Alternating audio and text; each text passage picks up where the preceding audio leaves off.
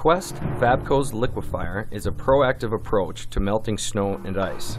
Foot traffic during a storm can compact and bond it to sidewalks, making it difficult to remove.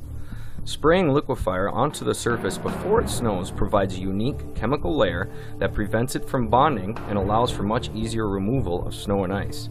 Liquefire incorporates three unique compounds that make it highly effective. In addition, it has urea and anti-corrosion agents that make it 85% less corrosive than traditional salt.